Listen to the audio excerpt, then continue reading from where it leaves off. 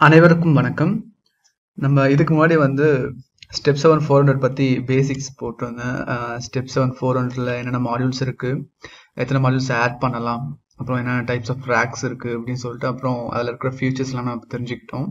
இன்றைக்கி வந்துட்டு எப்படி நம்ம ஸ்டெப் 7 400 டிஏஏ போர்ட்டலில் கான்ஃபிகர் பண்ணுறது ஐ மீன் ஹார்ட்வேர் கான்ஃபிகரேஷன் எப்படி பண்ணுறது இதை பார்த்தா தெரிஞ்சுக்க போகிறோம் சரி நம்ம ஏற்கனவே பார்த்தோம்னா நம்மளுக்கு இந்த மாதிரி மாடியூல்ஸ் இருக்கும். பவர் சப்ளை, சிபி ஃபர்ஸ்ட் எப்பவுமே பவர் சப்ளை வரும். அப்புறம் சிபியூ அப்புறம் சிக்னல் மாடியூல்ஸ், அப்புறம் கம்யூனிகேஷன் ப்ராசஸர், சிபி, அப்புறம் எஃப்எம் மாடியூல்ஸ், அப்புறம் ஐஎம் மாடியூல், இன்டர்ஃபேஸ் மாடியூல், அப்புறம் ஃபங்க்ஷன் மாடியூல் இந்த மாதிரி நிறைய இருக்கு. சரி இப்போ நீங்க ஒரு ப்ராஜெக்ட் கிரியேட் பண்றீங்க. அந்த ப்ராஜெக்ட்ல ஒரு 4, 5 மாடியூல் உங்க கையில இருக்கு. ஹார்ட்வேரா நீங்க பார்த்துட்டீங்க. உங்ககிட்ட ஸ்பெசிஃபிகேஷன் நம்பரும் இருக்கு. ஆனா இது எப்படி சிபியூக்கு நான் சொல்றது அப்படின்னு பார்த்தீங்கன்னா, அந்த தான் நம்ம இந்த வீடியோல பார்க்க போறோம். என்கிட்ட நான் இதெல்லாம் யூஸ் பண்ண போறேன். இந்த ஐஓஸ்லாம் நான் யூஸ் பண்ண போறேன் அப்படின்னு சொல்லிட்டு நமக்கு சிபியூ சொன்னா தான் சிபியு எடுத்து ப்ராசஸ் பண்ணும். ஜஸ்ட் நம்ம மாடலை இன்செர்ட் பண்ணிட்டா மட்டும் போதாது. சரி அது எப்படின்னு பார்க்கலாம். அதுக்கு முன்னாடி இந்த இமேஜஸ் பாருங்க.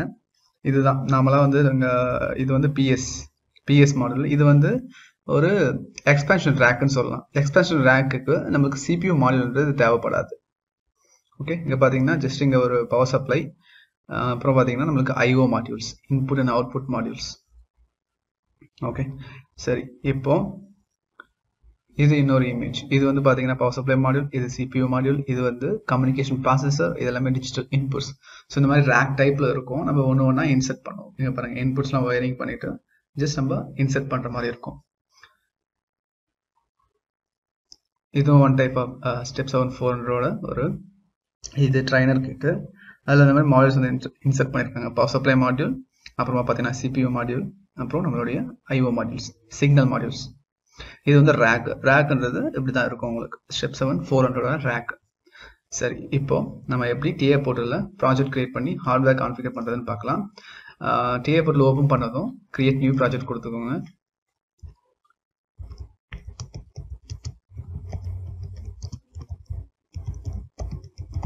உங்களுக்கு என்ன நேம் வேணுமோ அந்த நேம் கொடுத்துக்கோங்க. கிரியேட் பண்ணிங்கன்னா உங்களுக்கு ப்ராஜெக்ட் வந்து கிரியேட் ஆகிடும்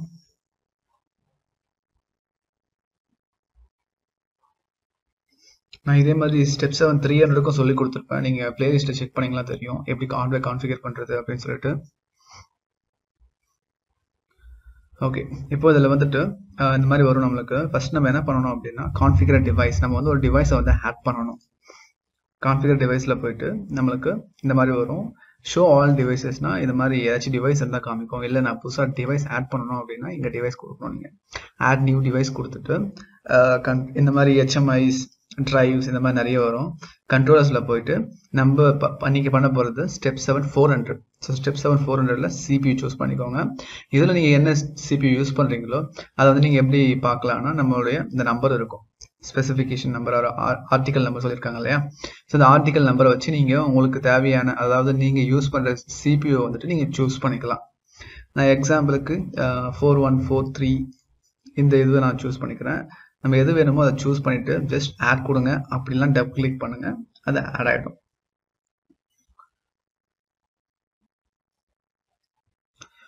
ஓகே இப்போ நான் வந்துட்டு நம்மளுடைய ப்ராஜெக்டில் சிபியு 4143 பிஎன்டிபி அப்படின்னா பிஎன்னா என்னன்னா டிபின்றது நம்மளுடைய ப்ராஃபிவஸ் டிபி. ஸோ இது ரெண்டுமே சப்போர்ட் ஆகக்கூடிய ஒன்று. ஸோ நம்ம இந்த இடத்துல ஃப்ரீ ஸ்லாட்ஸ் இருக்குது இந்த ஸ்லாட்ஸில் நம்ம வந்து ஹார்ட்வேரை கான்ஃபிகர் பண்ண போகிறோம் அதுக்கு முன்னாடி பிஎல்சியை முதல்ல கான்ஃபிகர் பண்ணணும். சிபியு சிபியு முதல்ல கான்ஃபிகர் பண்ணணும். ஸோ நீங்கள் ஜஸ்ட் டபுள் கிளிக் பண்ணீங்கன்னா கீழே அதோட ப்ராப்பர்ட்டிஸ் வந்து வரும். இந்த ப்ராப்பர்ட்டிஸில் ஜென்ரல், ஐஓ டேக்ஸ், அப்புறம் சிஸ்டம் கான்ஸ்டன்ஸ் டெக்ஸ்ட் இந்த மாதிரி நிறைய ஆப்ஷன்ஸ் இருக்கு. சரி இப்போ நம்ம ஃபர்ஸ்ட் ஜென்ரல் பார்க்கலாம். ஸோ ஜென்ரலில் பார்த்தீங்கன்னா உங்களுக்கு நிறைய விஷயங்கள் சொல்லியிருப்பாங்க. ஸோ ஜென்ரல்லே பாருங்க கேட்டலாக் இன்ஃபர்மேஷன்னா நம்மளுடைய சிபியு பற்றி இருக்கும் இந்த இடத்துல. நான் ஜஸ்ட் இதை பெருசாக்கிக்கிறேன் உங்களுக்கு காமிக்கிறதுக்காக. ஓகேங்களா? அதோட ஆர்டிக்கல் நம்பர் என்ன, ஃபர்ம்வேர் வெர்ஷன் என்ன இந்த மாதிரி நீங்கள் சேஞ்ச் ஃபர்ம்வேர் வெர்ஷன் அதையும் மாற்றிக்கலாம் இல்லை அப்டேட் மாடியூல் டிஸ்கிரிப்ஷன் அதையும் பண்ணிக்கலாம். சரி இது வந்து ஐடென்டிஃபிகேஷன் அண்ட் மெயின்டெனன்ஸ் நம்மளுடைய டீட்டெயில்ஸ் இங்கே கொடுத்துக்கலாம். இப்போ அடுத்தது எம்பிஐ டிபி இன்டர்ஃபேஸ். இதை போனீங்கன்னா உங்களுடைய நம்மளுடைய MPI DP interface Profibus DP இருக்கு இல்லையா அதை வந்து கான்ஃபிகர் பண்ணிக்கலாம். ஏதாச்சும் நீங்கள் இன்டர்ஃபேஸ் நெட்வொர்க் வித் அப்படின்னா நீங்கள் இங்கே பண்ணிக்கலாம் நெட்ஒர்க் பண்ணிக்கலாம். அடுத்தது ஒரு பேராமீட்டர்ஸ் நம்மளுக்கு ப்ராஃபிபஸ் டிபி அட்ரஸ் இருக்கணும் இல்லையா? ஸோ அந்த அட்ரஸ் தான் இது. டூன்னு கொடுத்துருக்காங்க. இதுதான். இன்டர்ஃபேஸ் டைப் வந்து எம்பிஐயா இல்லை ப்ராஃபிபஸா அப்படின்னு சொல்லிட்டு நீங்கள் சூஸ் பண்ணிக்கிட்டு அதோட அட்ரஸை நீங்கள் இங்கே வந்து மென்ஷன் பண்ணிக்கலாம். ப்ராஃபிபஸ்னா இங்கே ப்ராஃபிபஸ் சேஞ்ச் ஆகிட்டு அதோட அட்ரஸ் நீங்கள் மாற்றிக்கலாம் அதே மாதிரி நம்மளுடைய ஆப்ரேட்டிங் மோடு இந்த பிஎல்சி டிபி மாஸ்டரா இல்லை ஸ்லேவா அப்படின்னு நம்ம இங்கே சூஸ் பண்ணிக்கலாம். இது வந்து டிபி மோட்லேயே ரெண்டு ரெண்டு ஆப்ஷன் கொடுத்துருக்காங்க. DP version one or steps one comfortable உங்களுக்கு எது வேணுமோ அதை சூஸ் பண்ணி ஒர்க் பண்ணிக்கலாம். ஸோ இந்த மாதிரி நிறைய ஆப்ஷன்ஸ் இருக்கு. இங்க பாருங்க. டய diagnostics address start address eight one nine one இதுல இருந்து டயக்னாஸ்டிக் டயக்னாஸ்டிக்ஸ் அட்ரஸ் நீங்க இதை யூஸ் பண்ணி டயக்னாஸ்டிக் பர்பஸ் பண்ணிக்கலாம். அடுத்து வந்து ஃப்ராஃபினெட் ப்ராஃபினெட்னா அதை பேஸ் பண்ண ஐபி செட் பண்றது நேம் செட் பண்றது இந்த மாதிரி நிறைய கொடுத்துருப்பாங்க. நீங்கள் ப்ராஃபினட் யூஸ் பண்ணுறப்ப ஜஸ்ட் நீங்கள் இது ரெஃபர் இது எல்லாமே ரெஃபர் பண்ணிங்கன்னா உங்களுக்கு யூஸ்ஃபுல்லாக இருக்கும். சரி. அடுத்தது start up start அப்ன்றது warm restart hard restart cold restart இந்த மாதிரி நிறைய ஆப்ஷன்ஸ் இருக்குது உங்களுக்கு என்ன டைப் ஆஃப் ரீஸ்டார்ட் வேணுமோ அதை நீங்கள் சூஸ் பண்ணி நீங்கள் உங்களுடைய ஹார்ட்வேருக்கு சொல்லிக்கலாம். சரி அடுத்தது சைக்கிள் சைக்கிள் பார்த்தீங்கன்னா அங்கே பாருங்கள் cycle time cycle monitoring time minimum cycle time இந்த மாதிரி விஷயங்கள் நீங்கள் இதில் பார்த்துக்கலாம். ஸோ இந்த மாதிரி நிறைய ஆப்ஷன்ஸ் இருக்குது மெமரி இப்போ ரிட்டன்டிவ் மெமரி அப்புறம் ரிட்டன்டிவ் மெமரியோட என்ன ஸ்டார்ட் ஆகுது? ஸ்டார்டிங் அட்ரஸ் எம்பி ஜீரோ சொல்லியிருக்காங்க. ஸோ சிக்ஸ்டீன் சிக்ஸ்டீன்லேருந்து நம்மளுக்கு ஸ்டார்ட் ஆகும். ரிட்டன்டிவ் மெமரி அதே மாதிரி டைமர்ஸ்க்கு கவுண்டர்ஸ்க்கு இந்த மாதிரி சொல்லியிருக்காங்க. ரிட்டன்டிவ் மெமரி வேணும் அப்படின்னா நீங்கள் அதை யூஸ் பண்ணிக்கலாம். அடுத்து மெமரி இங்கே பாருங்கள் இது வந்து memory memory local data maximum eight one nine two bytes வரைக்கும் நல்லா யூஸ் பண்ணிக்க முடியும். அப்படின்னு சொல்லியிருக்காங்க. சரி. அடுத்தது ஓவர்வியூ ஆஃப் அட்ரஸஸ் சொல்லியிருக்காங்க. Port one port two MPDP Profinet interface எல்லாத்துக்கான address start address சொல்லியிருக்காங்க. இதுதான் நம்ம ப்ரோக்ராமில் யூஸ் பண்ணோம் ஓகேங்களா சரி. இப்போ ஐஓ டேக்ஸ் ஐஓ டேக்ஸ் வந்து போனீங்கன்னா என்ன இருக்குன்னா currently there are no IO tags to display ஏன்னா நம்ம ஜஸ்ட் இன்னும் கான்ஃபிகர் பண்ணவே இல்லை. வெறும் சிபியூ மாடல் வச்சு தான் பார்த்துட்டு இருக்கோம் சரி இப்போ ஃபர்ஸ்ட் நம்ம கொடுக்க வேண்டியது இங்கே பாருங்க ரேக் சொல்லியிருக்காங்களா? அந்த ரேக்ல நிறைய இருக்கு. யூனிவர்சல் ரேக் இருக்கு எக்ஸ்பென்ஷன் ரேக் இருக்கு. ஸோ உங்களுக்கு எந்த ரேக் வேணுமோ அது ஜஸ்ட் நீங்க கிளிக் பண்ணி இன்செர்ட் பண்ணிக்கலாம். ஓகே நான் இதை வந்து டெலிட் பண்ணிக்கிறேன்.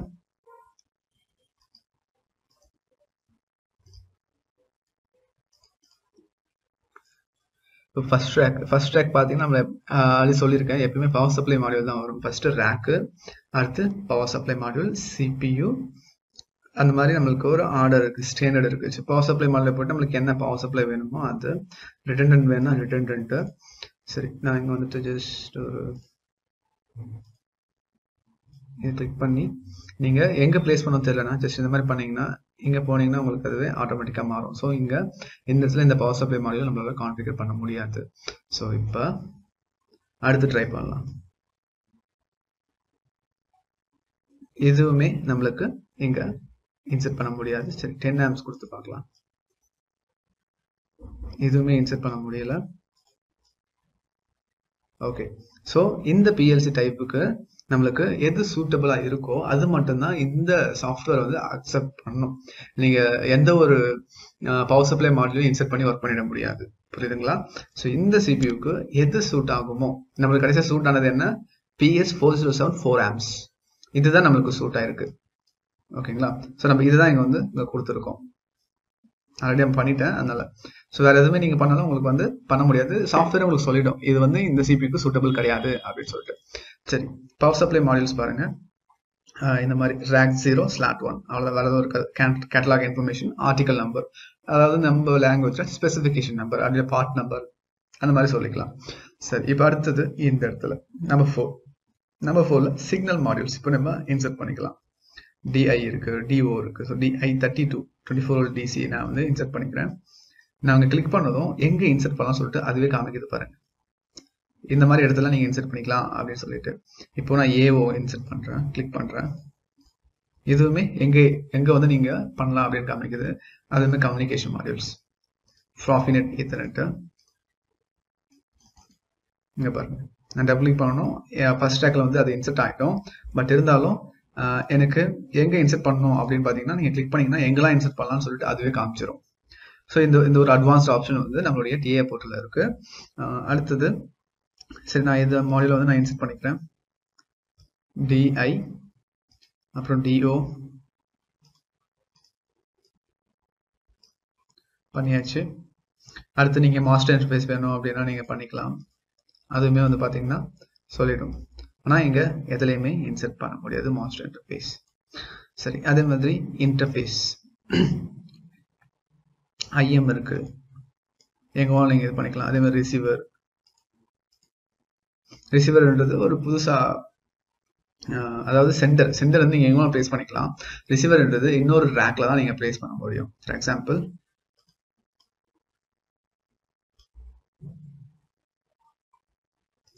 இங்கே பாத்தீங்களா? ரிசீவர்ன்றது இங்கே தான் பிளேஸ் பண்ணணும். நம்மளுக்கு அடுத்த ரேக் ஏன்னா இது வந்துட்டு இன்டர்ஃபேஸ் மாடியூல் இன்னொரு ரேக்கையும் இன்னொரு ரேக்கையும் கம்யூனிகேட் பண்ணுறதுக்கு நம்ம யூஸ் பண்றோம். புரியுதுங்களா? ஸோ அந்த டைமில் இந்த ரிசீவர்ன்றது அடுத்த ரேக்கில் இருக்கிற லாஸ்ட் மாடியூல் தான் யூஸ் பண்ண முடியும். சரி இப்போ இந்த மாதிரி நம்மளுக்கு நிறைய மாடியூல்ஸ் நம்மளுக்கு அவைலபிள் இருக்கு. எது வேணுமோ நம்ம சூஸ் பண்ணி ஒர்க் பண்ணிக்கலாம். சரி இப்போ இதுக்கு எப்படி நம்ம அட்ரஸ் கான்ஃபிகர் பண்ணுறதுன்னு பார்த்தீங்கன்னா ஜஸ்ட் அந்த மாடியூல கிளிக் பண்ணிட்டு ஐஓ டேக்ஸ் போங்க. அப்படி ஐஓ டேக்ஸ் போனீங்கன்னா இதில் வந்து இருக்கும். இதில் அட்ரஸ் வந்து இருக்கும். Starting address I zero zero I zero point ஜீரோலேருந்து ஸ்டார்ட் ஆயிருக்கு. Up to I three point seven வரைக்கும். இல்லை நீங்கள் மாடிஃபை பண்ணலாம் ஐஓ அட்ரஸஸ் இருக்குது பார்த்தீங்களா ஸோ இங்கே போயிட்டு நீங்கள் இங்கே இந்த ஸ்டார்ட் அட்ரஸை சேஞ்ச் பண்ணிக்கலாம். ஸோ ஸ்டார்ட் அட்ரஸை சேஞ்ச் பண்ணது மூலிமா உங்களுடைய ஐஓவும் மாறிக்கும். ஓகேங்களா? இங்கே டுவெண்ட்டி ஃபைவ் நான் மாற்றிட்டேன் இப்போ ஐஓ டேக்ஸ் போய் பார்க்குறேன் இங்கே பாருங்கள் I twenty five point zero so உங்களுக்கு என்ன உங்களுக்கு டிசைர்ட் அட்ரஸ் உங்களுக்கு எந்த அட்ரஸ் வேணுமோ நீங்கள் அதை சூஸ் பண்ணிக்கலாம். ஓகே அடுத்தது output module output module same IO address use போனீங்கன்னா உங்களுக்கு என்ன அட்ரஸ் வேணுமோ நீங்கள் இங்கே சூஸ் பண்ணிக்கலாம். கொடுத்துட்டு என்ட்ரு கொடுத்தீங்கன்னா உங்கள் ஐஓ டேக்ஸ் வந்து ஆட்டோமேட்டிக்காக மாறிக்கும். மாறினதும் நீங்கள் கம்பைல் பண்ணிக்கோங்க. சரி இப்போ நம்ம வந்துட்டு கான்ஃபிகர் பண்ணிட்டோம். கான்ஃபிகர் பண்ணதுக்கப்புறம் கம்பைல் பண்ணணும். கம்பைல் பண்ணாதான் உங்களுக்கு ஏதாச்சும் எரர் இருக்கான்னு தெரியும். ஸோ கம்பைல் கொடுத்தீங்கன்னா கம்பைல் ஆகும். ஸோ இந்த கம்பைலில் ஏதாச்சும் நம்ம மிஸ் கான்ஃபிகர் பண்ணியிருந்தோம் அப்படின்னா அதுவே நம்மளுக்கு சொல்லிடும். இங்கே பாருங்க. நம்மளுக்கு எந்த ப்ராப்ளமும் இல்லை. Compiling finished errors zero warning zero so இப்படி தான் வந்துட்டு நம்ம இந்த ஸ்டெப் செவன் ஃபோர் ஹண்ட்ரட்ல ஐஓஸ் வந்து கான்ஃபிகர் பண்ணணும். இதே மாதிரி analog inputs analog outputs communication process interface modules அப்புறம் ஃபங்க்ஷன் மாடியூல்ஸ் இந்த மாதிரி எல்லாமே நீங்கள் வந்து பண்ணிக்கலாம். ஸோ இந்த வீடியோவில் வந்து உங்களுக்கு எப்படி ஸ்டெப் செவன் ஃபோர் ஹண்ட்ரடை கான்ஃபிகர் பண்ணணும்னு தெரிஞ்சிருக்கும். ஸோ ஃபியூச்சர்ஸில் வர வீடியோஸில் ஸ்டெப் செவன் ஃபோர் எப்படி ப்ரோக்ராம் பண்ணுறது ப்ராஃபிபஸ் நெட்ஒர்க்ஸ் அதை எப்படி கான்ஃபிகர் பண்ணுறது ஸ்டெப்ஸ் ஒன் த்ரீ ஹண்ட்ரட் சொல்லியிருந்தேன் பட் எனக்கு போகிறதுக்கு டைம் இல்லை. நான் சேர்த்து ஃபோர் ஹண்ட்ரடுக்கும் போகிறேன் த்ரீ ஹண்ட்ரடுக்கும் போகிறேன் ஃபியூச்சரில் தேங்க்ஸ் ஃபார் வாட்சிங் இந்த வீடியோ நீங்கள் கற்றுக்கிட்டீங்கன்னு நினச்சிங்கன்னா உங்கள் ஃப்ரெண்ட்ஸுக்கும் ஷேர் பண்ணுங்கள்